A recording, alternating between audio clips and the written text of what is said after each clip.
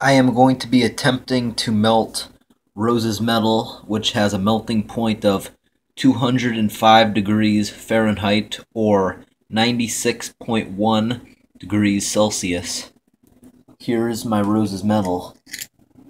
On my other videos, I tried boiling water to do, but I had some difficulties with this just a few minutes ago. So now I'm going to be using a heat resistant beaker inside the conventional oven on 300 degrees.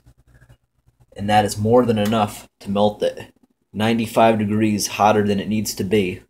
This oven has been running. Its buzzer has already gone off, meaning it is 300 degrees in there.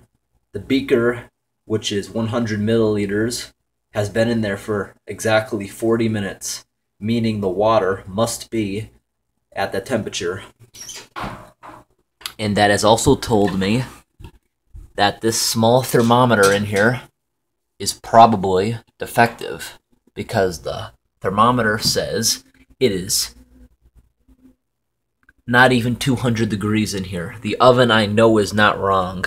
So this has got to be defective in some way.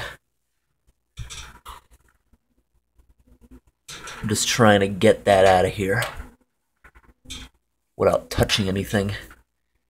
Kind of hard to do this with one hand. Okay, I got it. I removed this piece because I don't know what that is made of. I didn't know if that would melt in there. What I'm going to do now is pour my Rose's metal into it to see is it going to melt.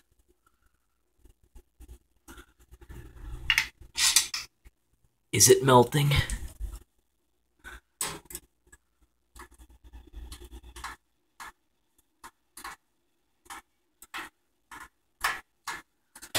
No, it is not melting. And this is 300 degrees. I know the water has to be, because that's been in here for 40 minutes. It's not melting, so here's what we're going to try. That's a heat-resistant beaker. It can go up a lot farther. Now I'm going to bring it up to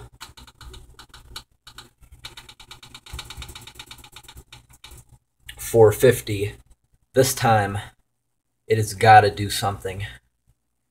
Okay, I'm going to give this another 20 minutes to get up there. Then we'll see if it's melted. I'm not going to remove the metal. I'm just going to leave it in the oven to see if it has any kind of effect. 20 minutes. Since the melting temperature of most plastic is 212 degrees Fahrenheit, I am not going to be using that container once the metal is melted. Instead, I'm going to pour it into this piece of tin foil or aluminum foil. Okay, it has been the 20 minutes.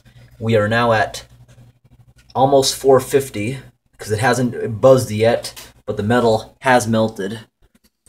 For some reason, it took a lot more for it to melt. It is, we can say, um, at least 400 degrees. It has melted. You can see it's bubbling like crazy in there. See, everything has melted. Now I gotta use a pot holder to pick this up. First I'm gonna shut the oven off.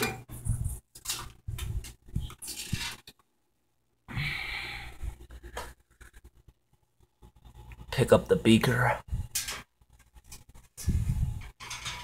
And pour it.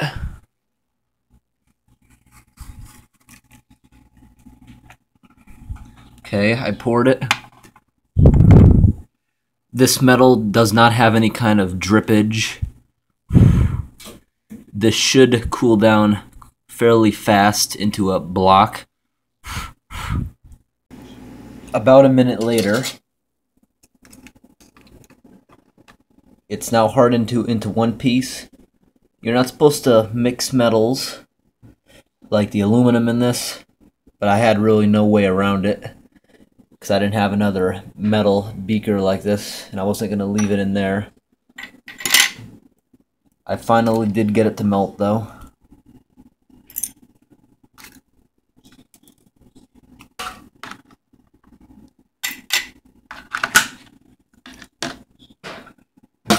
And that is it.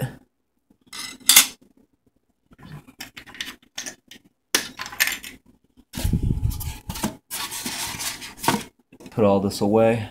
Thanks for watching.